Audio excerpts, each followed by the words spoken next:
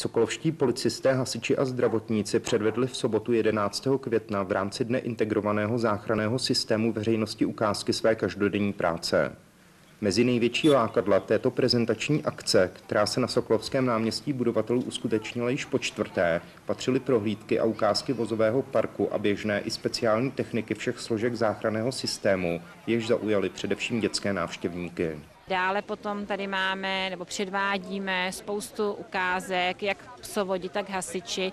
Pro děti byla připravena také řada soutěží, při kterých museli prokázat svoje znalosti například z oblasti dopravních předpisů či poskytování první pomoci. Děti vyplňují testy, které jim potom kontrolujeme. Samozřejmě, že nejsme až tolik přísní. Pokud je tam jedna chybička, tak dostanou i tyto děti větší odměnu. Jinak eh, bombony a sladkosti dostávají všechny děti.